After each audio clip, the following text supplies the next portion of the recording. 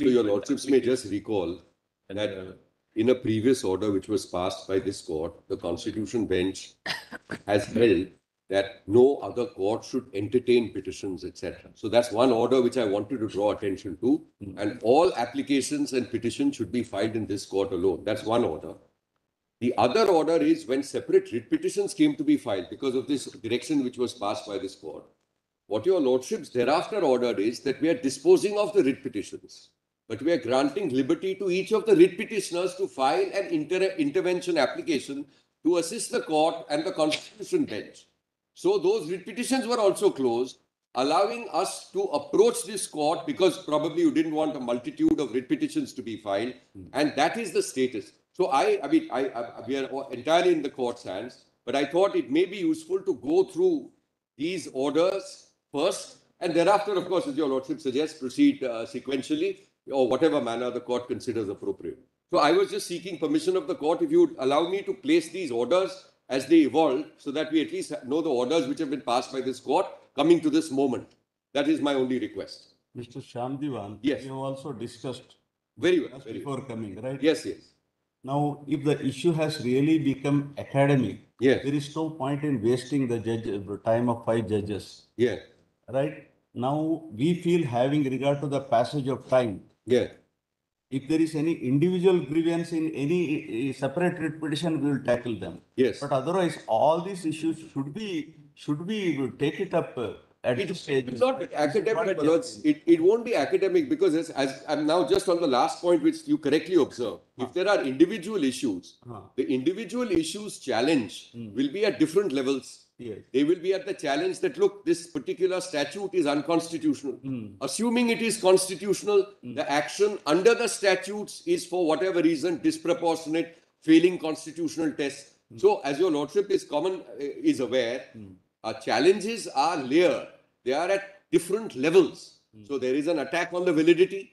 Assuming the validity, as your lordships correctly hold, one thing I might just point out, I, I mean, it's just maybe of some interest because Mr. Chidambaram has already indicated that to the court. Yes. As far as the 77 78 hmm. demonetization is concerned, hmm. and we have placed that in the compilation, hmm. that decision eventually came in 1996 by a constitution bench, which examined threadbare the statute and thereafter went into the individual grievances and pronounced on the individual grievances by the constitution bench itself. So that judgment also we have placed in the compilation. So, I mean, not that that is binding on your lordships in the sense, but that's an indication as to how a previous constitution bench tackling an issue similar to this did proceed in the matter. They retained the matter and they eventually decided it. So, Manoj, I am only speaking now from the perspective of the individual whom I represent. Hmm. We had filed a writ petition.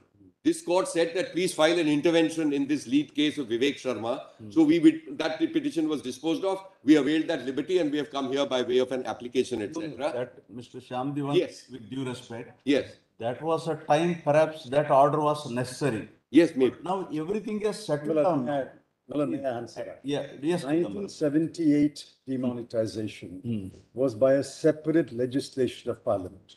Use- Ordinance on Use them, use them. Yes.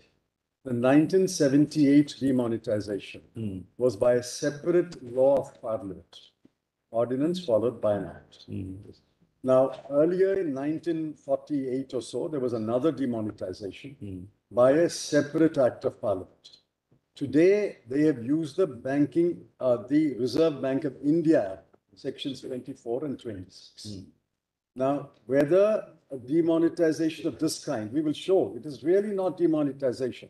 It is new notes for old. It is really not demonetization in the sense that any currency is declared legal tender.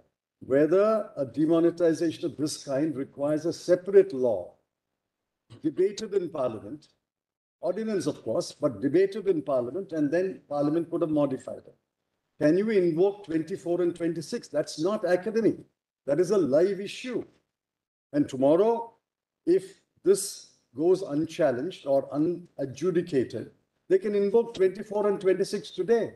Again, whereas the two previous examples of demonetization were by separate act of parliament. And my submission will be this kind of demonetization requires a separate act of parliament, and 24 and 26 does not give you that power.